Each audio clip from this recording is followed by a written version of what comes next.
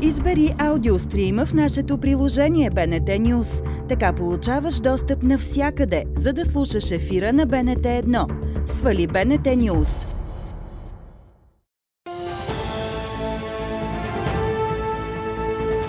Пред по света и у нас говори адвокатът Велимир Атанасов, за който се твърди, че е бил мозъкът в схемата на изнудвания на убития Мартин Божанов и негов съдружник.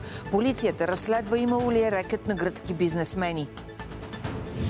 Вместо да бъде арестуван, чуждестранният гражданин Глеб Мишин е напуснал България необезпокояван, след като стана известна ролята му в корупционна схема за издаване на документи за българско гражданство. Това съобщи в парламента Танас Атанасов. Областният управител на София Вяра Тодева върна решенията на столичния общински съвет за избора на ръководствата на комисиите. Съветниците от ГЕРБ и БСП поискаха оставката й за саботаж на работата на местния парламент.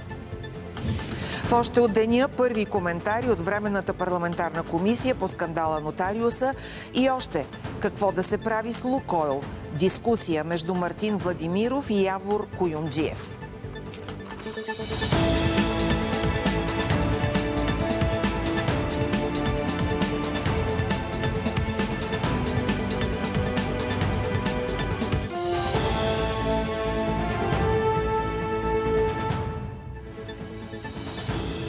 Започват новините в 18. Добър вечер. България е една от 18-те държави от НАТО, които тази година постигат целта за разходи и за отбрана в размер на 2% от брутния вътрешен продукт. Тази тенденция ще се запази в следващите години. Това стана ясно от думите на министра на отбраната Тодор Тагарев, който участва в Брюксел в срещата на военните министри от НАТО. Те обсъдиха продължаването на военната подкрепа за Украина и увеличаването на бюджетите за отбрана на фона на заплахите от страна на бивши американски американски президент и кандидат за нов мандат Доналд Тръмп, че ако съюзниците не отделят достатъчно пари за отбрана, той няма да ги защитава от Русия. На пряката ни линия от централата на НАТО е кореспондента ни Десислава Апостолова. Деси, здравей! Какви са реакциите на провокативните изказвания на Тръмп и какво решиха министрите? Добър вечер от Брюксел. Изказванията на Тръмп предизвикаха наистина вълна от реакции, по-скоро негативни сред съюзниците от НАТО. Все повече тук се задава въпросът какво ще стане с Алианса, ако Тръмп действително се върне за нов мандат в Белия дом. Но така или иначе темата за увеличаването на военните бюджети и за увеличаването на военното производство остава актуална и в контекста на войната в Украина и подкрепата за Киев. България наистина е една от 18-те държави, които тази година ще изпълнят целта от 2% от брутния вътрешен продукт. Чуйте какво обясни министър Тагарев. Ние сме над 2% с планирания бюджет за тази година, с закона за бюджета и във всяка от следващите години до 32 година. В някои дори повече. За 26-та година, когато имаме по-сериозни плащания по сключени вече договори, тогава бюджетът е и по-висок. Но сме над 2%, сме част от тези 18 страни. А, значителна част от този бюджет, около една трета, е за инвестиране в нови способности, а, което се посреща доста добре от нашите съюзници, но много вече са на това ниво. А, някои от съюзниците казаха, че са вече на 2% и половина или се стремят към това, а, други са на 3%, някои са над 4%. Съюзниците от НАТО отново подчертаха, че военната помощ за Украина ще продължи. Създава се група от съюзници, които ще доставят на Киев дронове. Създава се също така и нов тренировачен център между НАТО и Украина, който ще бъде разположен в Полша. А Йен Столтенберг благодари на България, Румъния и Турция за действията им в региона на Черно море. Чуйте още от него. Украинците имат големи способности да нападат руски кораби от Черноморския флот. Те унищожиха много кораби, големи кораби, а тази седмица още един руски кораб беше потопен от много компетентните и способни украински сили. Uh, Приветствам uh, това, че България, Румъния и Турция, um, тези три съюзници от НАТО с излъз на Черно море, uh, работят заедно по разминирането. И също, това беше споменато и на днешната среща, усилията на тези три страни дават възможност на Украина да използва своите териториални води. И тези големи победи на Украина в битката срещу руския черноморски флот.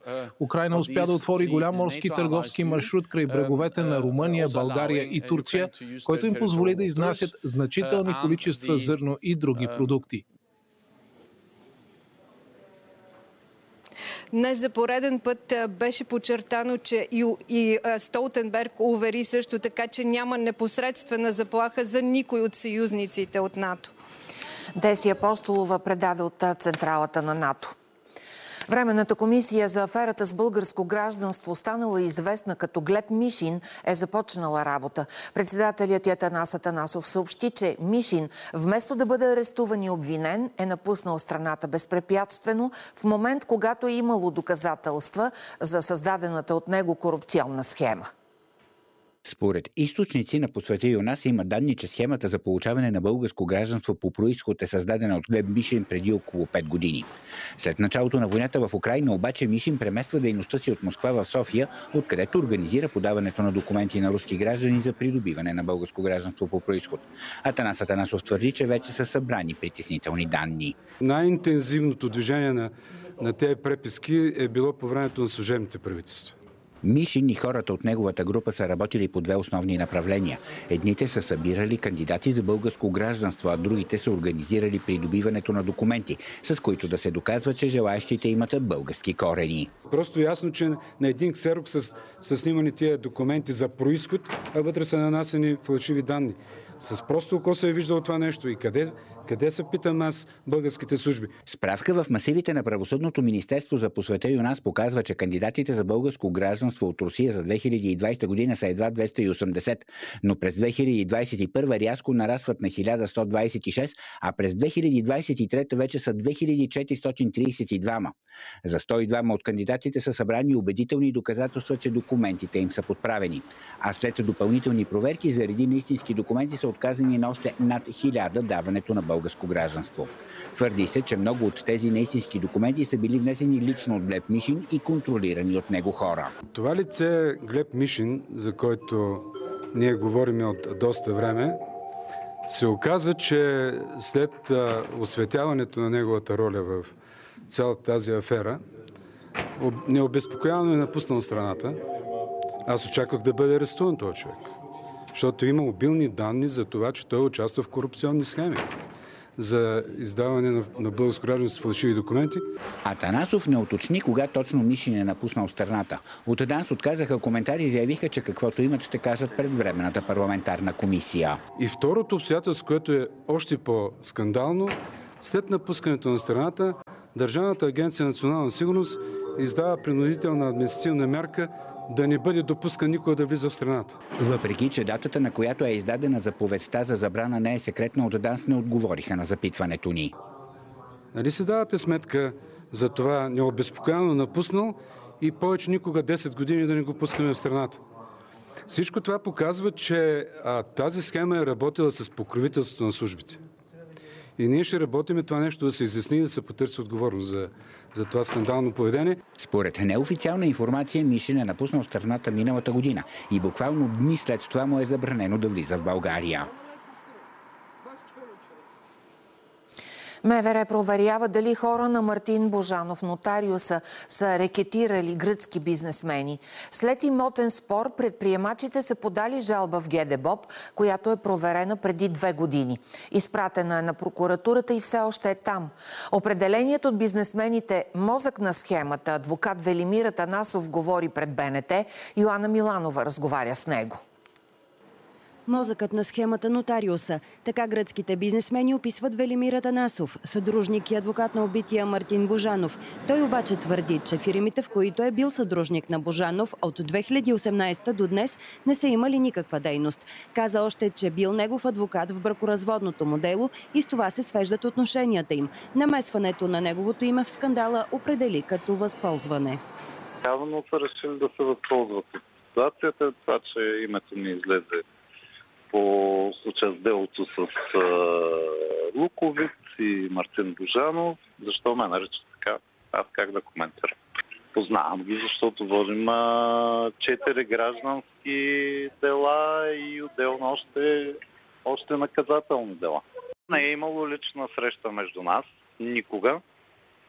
Затова ми е много интересно и държа въпросните господа, като правят квалификации, отправят всякакви твърдения, да кажат ясно и категорично къде точно аз съм се хвалил с някакви контакти от всякакъв вид. Като изцяло приятелски, Велимир Атанасов определи отношенията си с подалата оставка ръководителка на Софийската районна прокуратура Невена Зартова. Той не отговори на въпроса дали знае за незаконни дейности от страна на Божанов. Аз бях негов адвокат, така че на този въпрос няма как да отговоря. Главният секретар коментира, че Атанасов и Божанов били близки. Знаеме, че са били близки, особено Велимир Атанасов от дълги години е в приятелски отношения с него, така че вярвайте, че няма да прекрием нито един факт. Спор за имот, така според гръцките бизнесмени започнало всичко. От една страна гръцки предприемач купил имот за 25 милиона евро, сключил договор с потенциален партньор, който също би трябвало да има финансиране. Последвали обаче опити за саботиране на проекта, включително с поредица от проверки и дела. В този момент, според разказите на бизнесмените, се появили хората на нотариуса, които искали пари, парче от пая с апетитния бизнес. Използват ли всякакви похвати, в това число и заплахи. Те ни заобикаляха непрекъснато, след като ни повдигнаха обвинени а, хората на лицето Жартова и на Велимира Танашов. И те фактически, за да може да ни помогнат, е, за да се оправят нещата, ние трябва да платим някакви суми. Има се, разбира заплахи за нас, за нашите семейства, че ако ние не се подадем, ние трябва, те трябва да ни оправят. Това е изнудване. Идват на масата, казват, дадете тази сума, може да ви оправиме, вие сте много лошо състояние, може да станете още по-зле. Според гръцките бизнесмени в схемата били намесени служители от институции, които също притискали предприемачите. Имахме обаждани от, е, от служители на ДАНС, които се представяха като такива. Имахме от е, НАП адски много е, натиск и проверки. Имали сме от Компи също така. А, но пак казвам, ние не се притеснявахме и не се притесняваме, защото първо, сме чисти. В интервю пред 24 часа гръцкият бизнесмен Анастасиос Дико споменава конкретно име на служител в НАП Фиданка Йоневска и че от нея са тръгнали три от ревизиите на компанията. От НАП заявиха, че са извършени общо 16 проверки на фирмата и 4 ревизии. Една от тези ревизии била възложена от Йоневска и извършена от екип.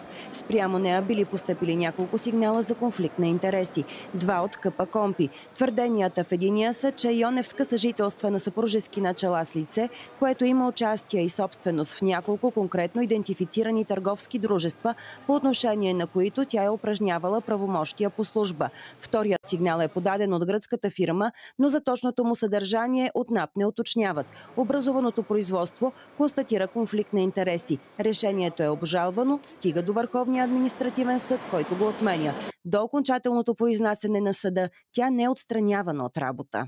Заведени са над 10 дела срещу бизнесмените, които според адвоката им са спечелени от тях. Той обаче не пожела да разкаже за тях в интервю. Предприемачите сигнализират много институции за турмоза, включително ГДБОП. Постъпила е жалба, разглеждана е. Става въпрос за имотен спор, за имотни взаимоотношения. Извършена е проверка през 2022 година и всички материали са изпратени на Софийска градска прокуратура, тъй като а, са изпълнявани указания на определен прокурор от а, тази структура. И твърдението е, че тази преписка е останала в прокуратурата, не се е връщала в ГДБОП. И сега поредната възложена проверка ще търси не само в ГДБОП, а във всички структури на МВР, какви сигнали са подавани от гръцките бизнесмени и за какво точно са били те.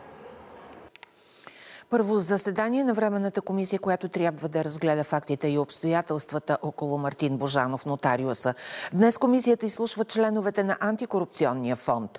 Те откриха връзка между по-стария случай 8-те джуджета и настоящия с Божанов. Според председателя на комисията Никола Минчев, Атанас Атанасов му е предоставил доклада с имената на членувалите в СС клуба. Минчев заяви, че на следващите заседания ще бъдат поканени всички, които които са споменати по темата, включително и Невена Зартова. Факти и обстоятелства, изнесени до момента, водят към избора, че всъщност разплитащите са тежко оплетени. имаме информация, че много често МВР и прокуратурата са били използвани като инструмент за не само за пране на пари, но и за а, обикновено разчистване на лични взаимоотношения. Няма как да не будят особени притеснения обстоятелствата за доста сериозното влияние, документирано, което тези структури са осъществявали върху органите на специализираното правосъдие. Прокурорската колегия освободи от поста районен прокурор на София Невена Зартова, както и четиримата и заместници. Всички подадоха оставки вчера, след като беше публикувано интервюто с гръцкия бизнесмен, който твърди, че бил изнудван от Божанов, а Зартова и районната прокуратура са съдействали на Божанов.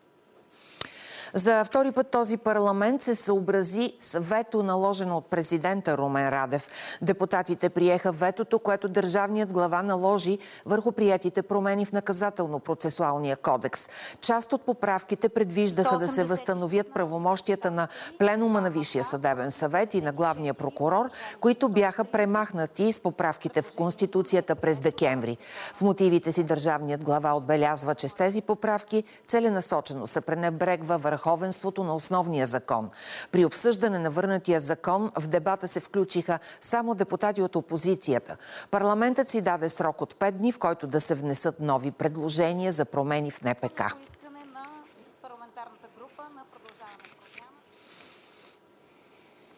Областният управител на София върна избора на комисиите в столичния общински съвет.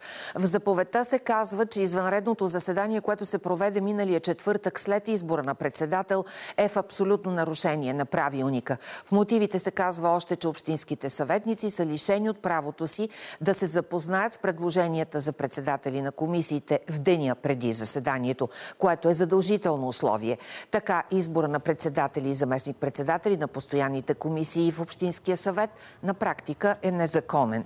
След излизането на заповедта за връщане на решенията от 8 февруари, общинските съветници от групата на БСП за България поискаха оставката на областния управител. Според тях това е саботаж на работата на столичния общински съвет. От ГЕРБ СДС също поискаха нейната оставка, защото според тях тя е работила зад колисно в полза на кмета Терезиев и групата на ППДБ Спаси София в Общинския съвет. Те отрекоха да имат такова нещо и отново казаха, че причината за върнатия избор на комисиите в Столичния общински съвет е само и единствено незаконосъобразност. Това, което прави госпожа Тодева, която е назначена от Продължаваме промяната, е изпълнение на политическа поръчка. Тя е поставена на тази позиция да бъде представител на държавата, а не да бъде в качеството си на партиен активист. А тя днес се прояви като активист на Продължаваме промяната. Демократична България спаси София. Нека работата по разпределение на комисиите да протече по един нормален начин, в нормални срокове, с внасяне на предложения, което съветите да имат време да се запознаят, с нормални преговори, които да продължат в рамките на един разумен период, а не внасяне на предложения след начало на заседание, а не съветите да получават предложенията след като са гласували половината от тях. Следва предаването още от деня. Пожелавам ви приятна вечер.